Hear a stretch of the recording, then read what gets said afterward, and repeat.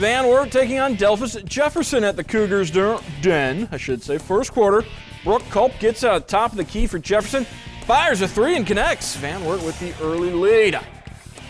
Cougars now, Aaron Morrow into the lane, lays it in, pushing that Van Wert lead up by six. Other end, Culp gets into the paint, shoots and misses, gets her own rebound, misses again, but the third time is the charm. Senior scores at two points.